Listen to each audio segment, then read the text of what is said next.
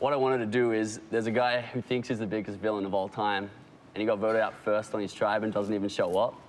So I wanted to just take his hat and put it where it belongs, because he's not the greatest. I was going to do that. But to answer your question, I told a lot of lies out there.